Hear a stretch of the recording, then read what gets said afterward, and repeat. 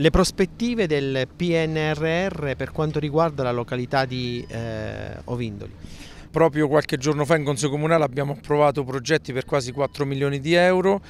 Eh, nel, nel, prossimo mese di aprile abbiamo un ulteriore budget da che, dal fondo complementare che comunque verrà destinato alla località di Ovindoli. Abbiamo approvato questi progetti che riguardano la riqualificazione delle piazze di Ovindoli Capoluogo e delle due frazioni San Potito e Santa Iona, il nuovo campo da calcio che non sarà solo campo da calcio ma verrà fatto un centro sportivo con anche strutture complementari, campo da paddle e strutture anche ricreative per poi completare il tutto, già approvato questo come dicevo in Consiglio Comunale, con alcuni parcheggi e alcune strade, quindi per potenziare sia la viabilità che i parcheggi. Con l'ufficio tecnico rispetteremo appieno come abbiamo già rispettato le scadenze, noi entro giugno andiamo con gli appalti lavori.